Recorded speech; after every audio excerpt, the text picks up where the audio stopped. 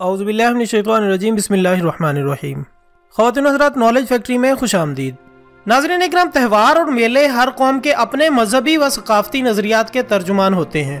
اور اسلام چونکہ ایک الگ مستقل الہامی دین ہے، اس لیے اس کی اپنی روایات اور اقدار ہیں۔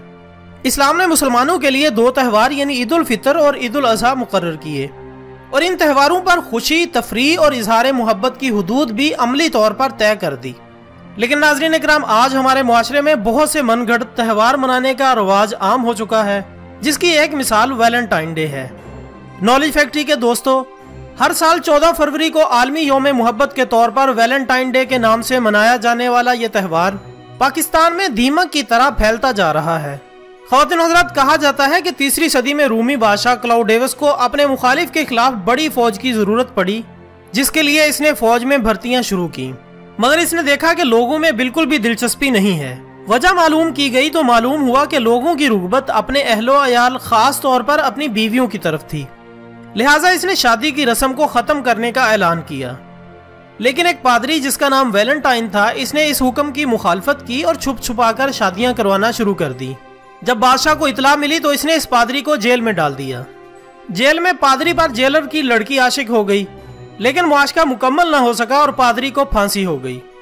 پادری نے پھانسی پر چڑھنے سے پہلے جیلر کی بیٹی کو الوداعی محبت نامہ لکھا، جس پر دستخط سے پہلے لکھا تھا تمہارا ویلنٹائن۔ ناظرین اکرام، یہ واقعہ چودہ فروری دو سو اناسی عیسوی کو پیش آیا۔ لیکن بعد میں یہی دن رومی سلطنت اور پھر تمام مغربی دنیا میں یوم محبت کے طور پر منایا جانے لگا۔ اگرچہ آج بھی اس دن کی تاریخ متنازع ہے، لیکن مشرق و مغرب میں ہر جگہ اسے چودہ فروری کو ہی منایا جاتا ہے۔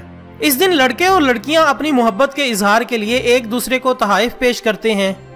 یہ تحائف کارڈز اور پھولوں کی صورت میں ہوتے ہیں۔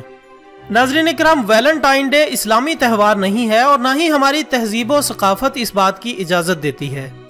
ہمارے معاشرے کے چند برے عناصر اس غیر شرعی اور شرمناک تہوار کو مسلمانوں میں بھی رائج کرنا چاہتے ہیں اور وہ کسی حد تک کامیاب بھی ہیں۔ ہر سال جرنل سٹورز اور کتابوں کی دکانوں پر اس دن کے حوالے سے جو ویلنٹائن ڈے کارڈز فروخت ہوتے ہیں، اتنے کارڈز اور تحفے عید کے مبارک دن پر بھی نہیں ہوتے۔ اس طرح ناظرین اکرام، ہمارے معاشرے میں یہ ویلنٹائن ڈے کی بیماری سرائیت کرتی جا رہی ہے۔ اس کو قومی سطح پر درست کرنے کی ضرورت ہے۔ اس کے علاوہ اس کی تشہیر میں پرنٹ میڈیا اور الیکٹرانک میڈیا کو بھی بھرپور ہتھیار کے طور پر استعمال کیا جاتا ہے۔ اور اس دن خاص پروگرام دکھا کر یہ باور کرانے کی کوشش کی جا رہی ہے، جیسے ویلنٹائن ڈے مسلمانوں کا ہی تہوار ہے۔ لیکن ناظرین اکرام، آپ لوگ ایک بات یاد رکھیں کہ الیکٹرانک میڈیا اور پرنٹ میڈیا کے مقابلے میں سوشل میڈیا کی زیادہ پاور ہے۔ آپ سے گزارش ہے کہ ویڈیو کو زیادہ سے زیادہ شیئر کر کے ایسے لوگوں کو احساس دلائیں کہ وہ کیا کر رہے ہیں۔ اس کے ساتھ ہی آج کی ویڈیو کا اختتام ہوتا ہے۔ کل ملتے ہیں ایک نئے ٹاپک کے ساتھ۔ تب تک کے لیے اجازت دیجیے گا۔ اپنا دوستوں رشتہ داروں اور گردنوا کے تمام لوگوں کا بہت خیال رکھیے گا۔ اللہ حافظ۔